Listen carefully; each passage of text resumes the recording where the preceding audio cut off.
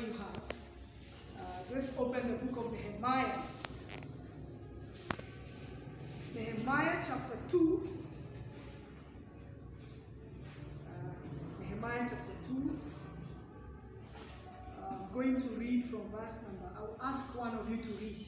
Nehemiah chapter 2, from verse 17.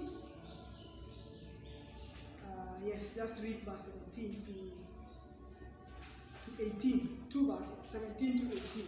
So if you are there, kindly read for us. Nehemiah chapter 2, verse 17 to 18.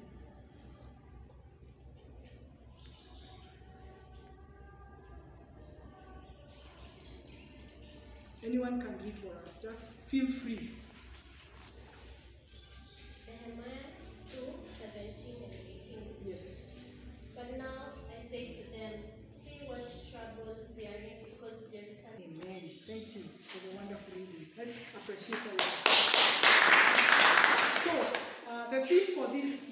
Is from the book of Nehemiah, and the title is Rising Up from Ruins. Rising Up from Ruins.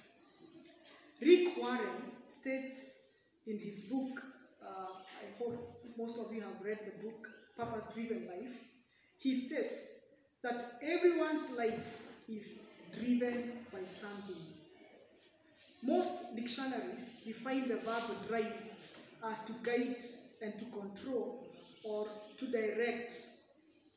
Whether you are driving a car, a nail, or a ball, you are guiding, controlling, or directing it at the moment. And I have this important question to you this uh, morning. What is a driving force in your life? Are you living a God centered life or you're living a man centered life? The book of Nehemiah is a historical book that highlights the plight of God's people after they returned from exile of the Babylonians and the Persians. So we have several historical books. We have Ezra, Nehemiah, Esther, Chronicles, and many others. They are historical books. So Nehemiah is also part of the historical books, and it's believed Nehemiah is the author of the book of Nehemiah. And this book is quite interesting as I was preparing to the sermon. And Nehemiah gives us several insights that today I want us to learn from him. And you find that Nehemiah was having a very special office in the Persian government, whereby he was serving the king. In other words, he was serving as the PA, personal assistant of the king in a foreign land. In other words, he was the one before the king does uh, tastes any food. Nehemiah's role was to make sure he drinks the drink before the king drinks it. He tastes the food before the king eats it. So he had a lot of trust in a foreign land. And when he was in this foreign land, if you read Nehemiah from chapter number one, the Bible says Nehemiah got a report that in his town in Jerusalem, things are not as good as they were expected. Things were so bad. He was told that Jerusalem is in ruins.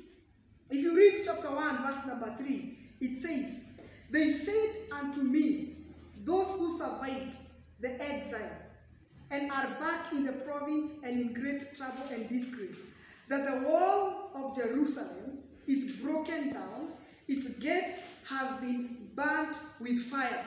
Please note carefully Nehemiah's report, the report he got was very, very discouraging to him. Two key words the walls have been broken. Number two, the gates have been burnt with fire.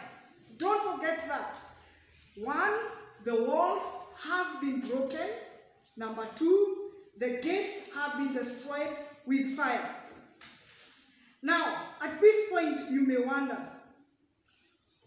what meaning or what significance could this be having to God's people, especially the walls?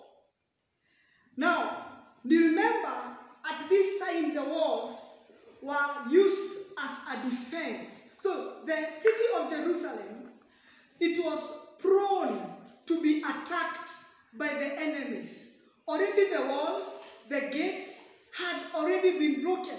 So any enemy would intrude into the city of Jerusalem. Praise God. Amen. So they were exposed of being attacked. They were exposed for any physical harm, either emotionally or physically. In other words, they were vulnerable. I would like to emphasize the word vulnerable. I will often repeat that word. Vulnerable. In other words, the city of Jerusalem, God's elect, God's people, they were endangered, they were unsafe, they were insecure, they were at risk of being attacked. From history, you have heard about the Great Wall of China that was constructed in the 7th century.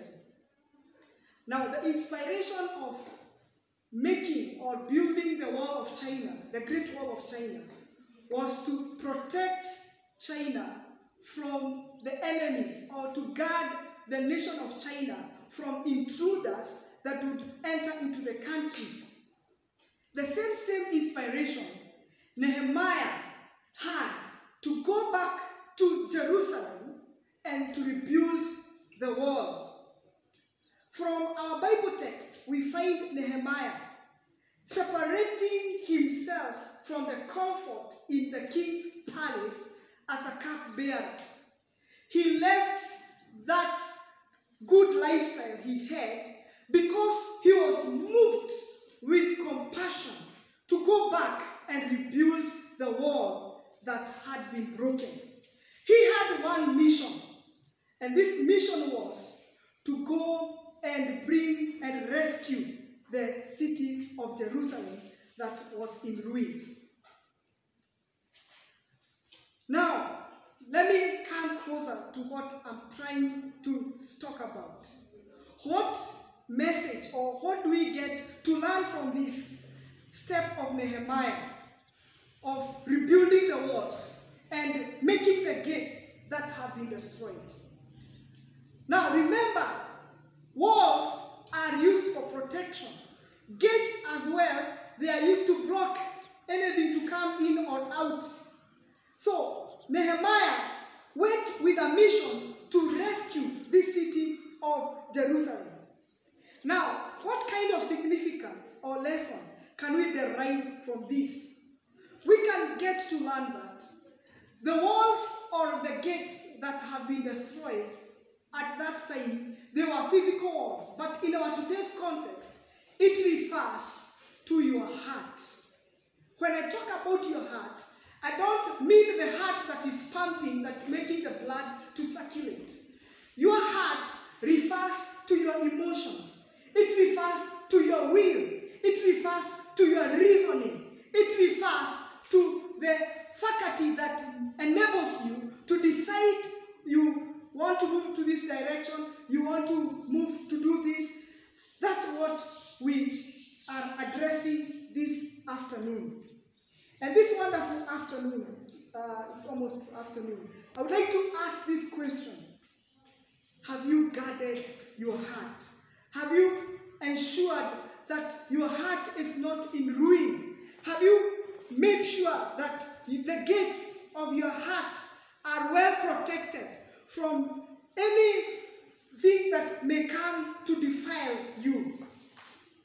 Proverbs 25 28. It says, A man without self control is like a city without walls. So, in other words, a city without walls, anything can come in and anything can get out anyhow. In our generation, we are living in what we call information era. We are bombarded, or in other words, we are flooded with a lot of erotic or sexual stimulating information. I remember when I was in high school, there was a famous advert I used always to see about they were advertising a, a soap called the Flamingo soap. And when they were advertising this soap, they would always bring a beautiful girl. And in my young age, I ensured that I buy that soap so as I can as well bumper to this beautiful girl. Unfortunately, it didn't happen. And this is the kind of society we are living in.